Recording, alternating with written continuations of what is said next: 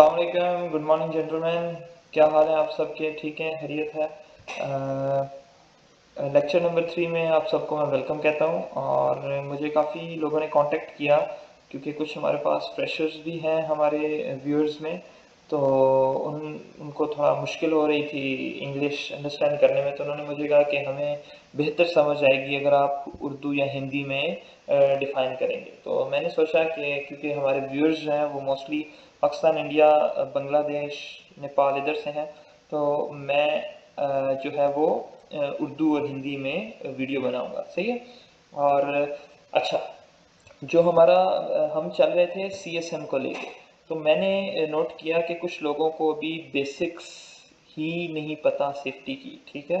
क्योंकि कुछ टर्मिनोलॉजीज में आगे यूज़ करना, करने जाऊँगा सी एस एम के जो मेन लेक्चर्स हैं, उसमें work safe site safety manual में कॉन्ट्रैक्टर सेफ्टी एडमिनिस्ट्रेटिव रिक्वायरमेंट्स में ठीक है कि ये ये डॉक्यूमेंटेशन होंगी। तो उससे पहले मैंने सोचा कि एक वीडियो बना दी जाए जो कि बेसिक्स को डिफाइन करे लाइक जेएसए हो गया रिस्क असेसमेंट हो गया हैजर्ड रिस्क क्योंकि कुछ लोगों को हम अनफॉर्चुनेटली हैजर्ड और रिस्क की बेसिक डेफिनेशन और बेसिक डिफरेंस ही नहीं पता ठीक है? तो ये हम देखना चाहेंगे आ, इस वीडियो में। तो चलते हैं। इस वीडियो का ऑब्जेक्टिव है हमारा कि मैंने आपको हैजर्ड और रिस्क के दरमियान डिफरेंस बताना है। ठीक है? मैंने आपको बताना है जेएसए क्या है पर्पस क्या है जेएसए का कंटेंट्स क्या क्या होंगे जेएसए में ऑनर कौन है जेएसए का owner means who is responsible person of that JSA how to develop a JSA आप डेवलप कैसे करेंगे जेएसए एक इफ़ेक्टिव जेएसए आप कैसे डेवलप कर सकते हैं? ठीक है तो ये हमारे ट्रेनिंग के ऑब्जेक्टिव हैं। मूविंग फर्दर अच्छा जी, सबसे पहले तो अपना कॉन्सेप्ट क्लियर करें कि हैजर्ड और रिस्क के दरमियान डिफरेंस क्या ठीक है? Hazard anything which has potential to cause harm to people environment assets और प्रॉपर्टी ठीक है जी? As we are working as H S C तो सिर्फ़ हम पीपल को नहीं देखते, हम पीपल के साथ इन्वायरमेंट को भी देखते हैं, हम एसेट्स को भी देखते हैं। ठीक है?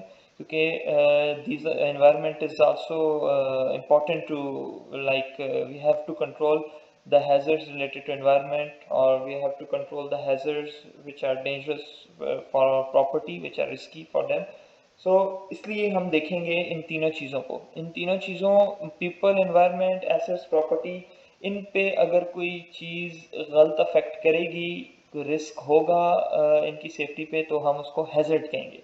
ठीक है? कि यार ये चीज़ इसको डैमेज कर सकती है, इसलिए ये हैजर्ड है, ठीक है? रिस्क क्या है?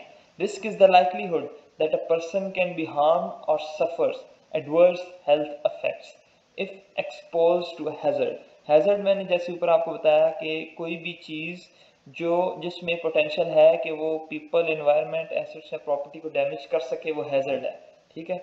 अब रिस्क क्या है? Risk is associated with that hazard which can cause harm to people and it is a likelihood that a person can be harmed or suffers right कि क्या प्रोबेबिलिटी है क्या लाइकलीहुड है कितने चांसेस हैं कि रिस्क क्या है कि कितने चांसेस हैं कि अगर एक ह्यूमन या एनवायरनमेंट या एसेट्स या प्रॉपर्टी उस हैजर्ड से एक्सपोज होगी तो कितने चांसेस हैं कि वो डैमेज हो जाएगी? उसको नुकसान पहुँच जाएगा। ठीक है? तो ये हमारे पास रिस्क है। लाइक फॉर एग्जांपल मैं एग्जांपल मैं यहाँ पे आपको दूँगा कि हमारे पास एक फ्लेमेबल लिक्विड का ड्रम पड़ा है, ठीक है साइड पे। और उसके बाद साथ वेल्डर वेल्डिंग कर रहा है। अब हैजर्ड क्या है? Hazard welding welder is doing welding very near to the flammable liquid container ठीक है? ये हैजर्ड है। लेकिन रिस्क क्या है? रिस्क आग लगने का रिस्क है। अब उसको हम कैलकुलेट करते हैं कि कितनी प्रोबेबिलिटी है और कितनी स्वेरिटी से आग लग सकती है। एक और एग्जांपल देता हूँ। वर्कर काम कर रहा है इसके फोल्डिंग पे हाइट पे, ठीक है? और अब रिस्क क्या है? हैजर्ड क्या है? कि ये यहाँ से नीचे गिर सकता है, ठीक है? ऊपर से नीचे गिरेगा, ये हैजर्ड है। यहाँ अगर कोई गार्ड रेल रिमूव है, ठीक है? वो guard rail improper platform is a hazard ठीक है? ये हैजर्ड है। कोई टूल उसके पाँव में पड़ा हुआ है वो उसको उसके पाँव से टकरा के नीचे गिर सकता है ये हैजर्ड है ठीक है? आ, उसका कोई प्लैंक मिसिंग है उसका फोल्डिंग का ये हैजर्ड है। अच्छा अब रिस्क पे बात करते हैं। रिस्क क्या है कि वो अगर ऊपर से नीचे गिरता है ठीक है? ये रिस्क है वो ऊपर से नीचे गिर जाएगा। अब वो गिरता है तो कितना स्वेयर डैमेज होगा कितना स्वेयर उसको नुकसान पहुंचेगा ये रिस्क है। समझ आ रही है आपको मेरी बात? आई होप कि मैं आपको इजीएस्ट वर्ड में समझाने की कोशिश कर रहा हूँ और आप उसको कैच कर रहे हैं, ठीक है? तो सबसे पहले अपना बेसिक कॉन्सेप्ट क्लियर करें हैजर्ड और रिस्क के बारे में। स्टिल अगर आपको कोई कंफ्यूजन है तो आप मुझसे दोबारा पूछ सकते हैं कमेंट बॉक्स में। ठीक हो गया? आगे चलते हैं। ये देखें जी, अभी हमने डिफाइन किया hazard hazard is anything which can cause harm to people environment assets और प्रॉपर्टी अब इसमें देखते हैं हम, ये एक एक्टिविटी हो रही है। इसमें कौन कौन सा हैजर्ड इन्वॉल्व है? इसमें देखें जी नंबर वन पे वो कह रहा है आर्क लाइट ये देखें वेल्डर वेल्डिंग कर रहा है आर्क लाइट है, ठीक है? ये है ये है आर्क लाइट ये हैजर्ड है. फॉल फ्रॉम हाइट ये देखें प्रॉपर प्लेटफॉर्म पे काम कर रहा है फॉल फ्रॉम हाइट का हैजर्ड है. ऑयल स्पिलेज ये ऑयल स्पिलेज हुई भी है स्लिप ट्रिप फॉल हो सकता है हैजर्ड है. और क्या पता ये ऑयल जो हो, ये फ्लेमेबल हो, इसको आग लग सके। इसी तरह welding near flammable material number four ये देखिए वेल्डर है, ये वेल्डिंग कर रहा है cleaning clothes with high pressure air most common hazard है, जो कि आपको साइट्स पे मिलेगा। High pressure air compressed air से लोग अपने एफ़ अपने जो है वर्किंग क्लॉथिंग साफ़ कर रहे होते हैं। ठीक है, ये हैजर्ड है। कैरिंग हैवी लोड ये देखें अर्गोनॉमिक हैजर्ड है। ये हैवी लोड कैरी कर रहा है। अब देखिए, ये हैजर्ड है, ठीक है? अब इसमें रिस्क क्या है? रिस्क हम देखेंगे कि यार, ये अब हैवी लोड कैरी तो कर रहा है, ये हैजर्ड है, लेकिन रिस्क क्या है? प्रोबेबिलिटी इनटू स्वेरिटी कि कितने चांसेस हैं कि इसको अर्गोनॉमिक इशू होगा? इसकी स्पाइनल जो है बोन है, उसमें इसको मतलब कोई पेन या कोई अफेक्ट होगा, ठीक है? कितने चांसेस हैं? और कितना स्वेयर इसको अफेक्ट करेगा वो हैजर्ड ये रिस्क है। ठीक है? रिस्क का फॉर्मूला है risk is equal to probability into severity ठीक है? कैरिंग हैवी लोड ये जिस तरह आपको बताया इम्प्रॉपर इलेक्ट्रिकल केबल ज्वाइंट ये देखें इम्प्रॉपर केबल ज्वाइंट है, ठीक है? Improper platform to work at height as we discussed earlier ये दोबारा हैजर्ड है, ठीक है? तो जी, ये एक जस्ट एग्जांपल दी थी आपको कि ये हैजर्ड्स हैं, ठीक है? आपने हैजर्ड को कैसे आइडेंटिफाई करना है? हैजर्ड और रिस्क के दरमियान आपको डिफरेंस होप समझ आ गई होगी। आगे चलते हैं जॉब सेफ्टी एनालिसिस पे। जॉब सेफ्टी एनालिसिस क्या है? जीएस एक डॉक्यूमेंट है जो लोग आरामको की साइट्स पे काम करते हैं, उनको पता है कि ये कितना इंपॉर्टेंट डॉक्यूमेंट है और क्लाइंट इसको रिक्वायर करता है कि हर परमिट जब भी work permit receiver permit issue करवाने जाता है तो वो वर्क परमिट इशूअर उससे जीएस डिमांड करता है, ठीक है? तो ये एक डॉक्यूमेंट है जो हर वक्त साइट पे भी मौजूद रहता है। JS is a formalized process that is use to identify specific related to specific specific tasks that take place in the workplace. ठीक है? एक फॉर्मुलाइज प्रोसेस है ये क्यों किया जाता है? ये specific hazard with respect to specific task task और एक्टिविटी का आगे मैं जो है ना वो डिफ्रेंशिएट करने जाऊँगा क्योंकि ये दो इंपॉर्टेंट चीज़ें हैं टास्क और एक्टिविटी एक्टिविटी होती है एक ब्रॉडर टर्म है लाइक like, आज कौन सी एक्टिविटी करनी है जी? आज हॉट वर्क एक्टिविटी है हमारे पास ठीक है? आज हमने हॉट वर्क एक्टिविटी अब उस एक्टिविटी को जब ब्रेक डाउन करेंगे स्मॉलर स्टेप्स में लाइक हॉट वर्क एक्टिविटी में क्या क्या टास्क आएँगे? कटिंग आएगी वेल्डिंग आएगी ग्राइंडिंग आएगी, और जो जो हॉट वर्क होंगे, वो आएँगे। ये क्या हमने किया? टास्क में इसको ब्रेक डाउन कर लिया, ठीक है? This is done by breaking down a job into separate tasks and looking for potential hazard at each step of the task. अब जो रिस्क असेसमेंट या आरामको की लैंग्वेज में इसको एच आई पी बोलते हैं हैजर्ड आइडेंटिफिकेशन प्लान उसमें activities को डिफाइन किया जाता है। एक्टिविटीज़ के अकॉर्डिंगली हैजर्ड्स को आइडेंटिफाई करके रिस्क रेटिंग करके कंट्रोल मेयर सजेस्ट किए जाते हैं। जबकि जे एस ए जे एस ए में क्या किया जाता है? उस एक्टिविटी को फर्दर ब्रोक डाउन किया जाता है इनटू स्मॉलर टास्क और फिर उन स्मॉलर टास्क के अगेंस्ट दोबारा से आप कह लें रिस्क असेसमेंट की जाती है। समझ रहे हैं? दोबारा से उसको हैजर्ड को आइडेंटिफाई किया जाता है और फिर आ, उसके अकॉर्डिंगली कंट्रोल मेयर्स सजेस्ट किए जाते हैं। देखें जी, मैंने लिखा हुआ है डिफरेंस बिटवीन जे एस और risk assessment risk assessment is a generic tool which is made for the whole process in which hazards and control measures are addressed widely सही है? It is usually made and approved by project top management and attach to a method statement ठीक है जी? Mostly H S C managers बनाते हैं project managers involve होते हैं site engineers involve होते हैं, उन्हें पता होता है कि कौन सी एक्टिविटी है, उसके अगेंस्ट क्या हैजर्ड है और क्या हमने कंट्रोल मेयर्स सजेस्ट करते हैं। और ये यूजुअली प्रोजेक्ट स्टार्ट में ही एक्टिविटीज़ डिफाइन कर दी जाती हैं और मेथड स्टेटमेंट के साथ लगा के आरामको में सबमिट करवा दी जाती हैं। ठीक है? जबकि जे एस जो होता है, वो डेली बेसिस पे भी अक्सर बनाए जाते हैं। कोई भी ऐसी नई नॉन रूटीन एक्टिविटी आ गई है ठीक है? और उसके अगेंस्ट उसको हम स्टेप्स में ब्रेक डाउन करेंगे छोटे छोटे टास्क में और उस टास्क के अगेंस्ट हर हर टास्क का ना अलहदा जे से बनेगा। लाइक हॉट वर्क एक एक्टिविटी है, उसके टास्क हैं कटिंग वेल्डिंग ग्राइंडिंग अब कटिंग का अलहदा जे है वेल्डिंग का अलहदा जे है ग्राइंडिंग का अलहदा जे है समझ रहे हैं? JSA में क्या लिखा है जी? JS is a tool which is use for the specific task it identifies control measures for observe hazards which must be implemented before the start of the task. ठीक हो गया? It is usually made by task supervisors or foremen with support from the HSC team ठीक है? ये task supervisor या foreman बनाते हैं और with respect H S C team उसको सपोर्ट करती है। ठीक है? लेकिन कुछ कंपनीज़ में एच एस सी की रिस्पॉन्सिबिलिटी लेकिन एज पर आराम को owner of the J S A is the responsible person of that task वो कौन होगा? वो कंस्ट्रक्शन का बंदा होगा, वो सुपरवाइजर होगा कंस्ट्रक्शन का, वो सुपरवाइजर वो साइट इंजीनियर होगा कंस्ट्रक्शन का, सही है? लेकिन बनाएँगे वो वो हेल्प ले सकते हैं एच टीम से। पर्पज क्या है जेएसए का? The purpose of JSA is to put in place correct solutions to eliminate और minimize the risk of the hazards which will be eliminated while developing a hazard. और एक बड़ी important point मैंने नीचे लिखा है implementation of JS is more important than documentation this is the responsibility of safety उसने ensure करना है कि जो जो चीज़ें जेएस में लिखी हैं, वो इम्प्लीमेंट हो रही हैं कि नहीं हो रही, ठीक है? ये देखिए जी स्टेप्स हैं जे बनाने के लिए। सबसे पहले एक्टिविटी प्लान की जाती है कि हमने क्या एक्टिविटी करनी है।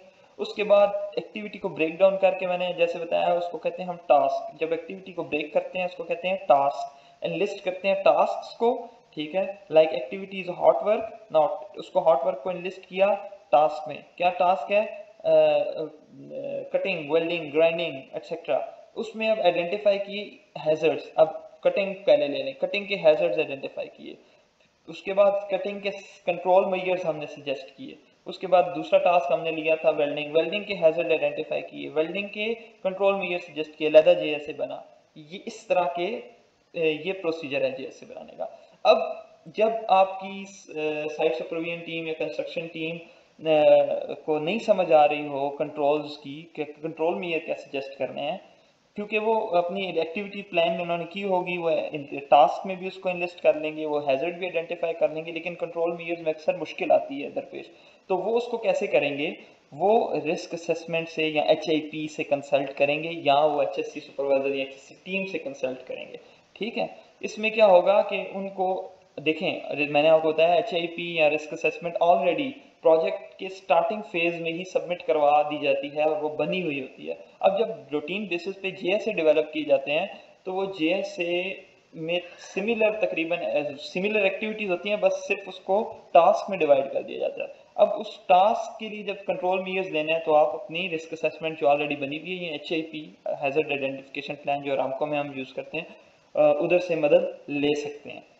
और फिर communicate the J S A to your workers in the language which they understand ठीक है? खाली जे एस ए बना के रख नहीं लेना होता। जो जो जे एस ए में चीज़ें लिखी हैं, ये in the form of pre task tool box task workers को पहुंचानी कम्युनिकेट करनी ज़रूरी है, ठीक है? क्योंकि एट द एंड वो लोग स्टेक पे हैं, वो लोग ऑन द ग्राउंड काम कर रहे हैं, समझ रहे हैं?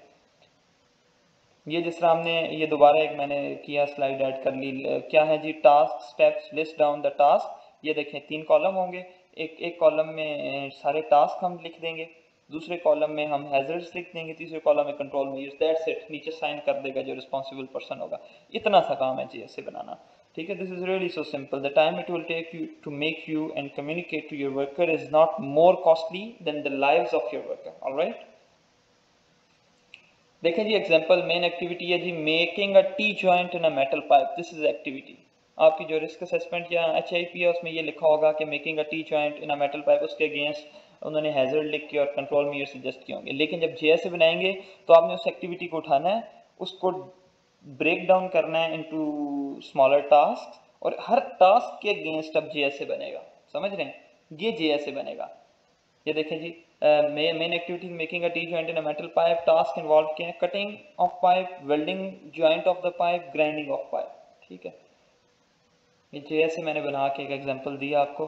स्टील पाइप कटिंग ठीक है? अब देखें कटिंग क्या है जी? उसमें making a T joint of a pipe वो एक्टिविटी थी उसके अगेंस्ट हमने जे से बनाया। Steel pipe cutting steel pipe cutting के hazard scattered particle flying sparks electric shocks control measures use of safety guard and glasses use of fire screen insulated wire और connections ये है जी स्टील पाइप कटिंग अगला step क्या होगा?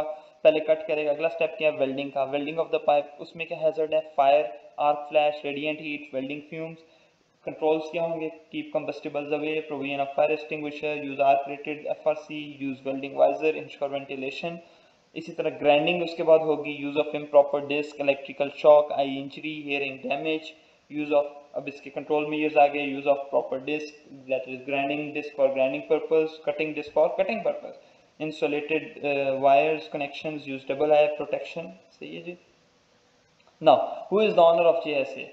Person in charge of the work activity is the owner of JSA, not safety officer or safety supervisor is responsible. The person in charge of that work activity, he could be a construction foreman, construction supervisor or site engineer.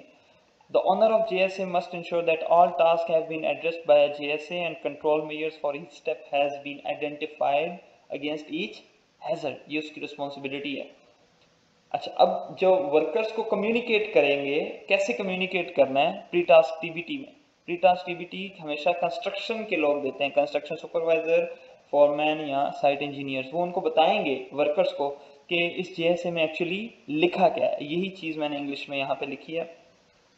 और बड़ा important question who will deliver pre task mostly लोग सोचते हैं ये pre task safety देता है। ठीक है? सेफ्टी ऑफिसर अपनी एक्टिविटी देता है। एक जर्नली सेफ्टी से रिलेटेड उसको बताता है। लेकिन जो प्री टास्क टीबीटी है जो कि with respect to that specific activity और टास्क की सेफ्टी के बारे में जो बताएगा वो ऑनर ऑफ़ द एक्टिविटी और टास्क बताएगा जो कि फॉरमैन कंस्ट्रक्शन सुपरवाइजर या साइट इंजीनियर होगा।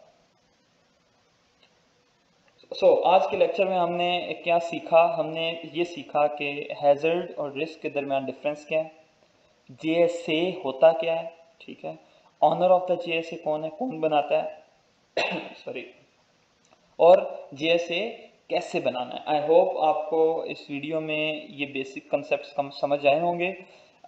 इसी को लेके हम आगे चलेंगे और अपना सी एस एम के लेक्चर स्टार्ट करेंगे। पहले मैं कोशिश कर रहा हूँ कि आप लोगों की बेसिक्स जो है वो मैं स्ट्रॉन्ग कर लूँ, ताकि आप लोगों को आगे सी एस एम समझने में आसानी हो।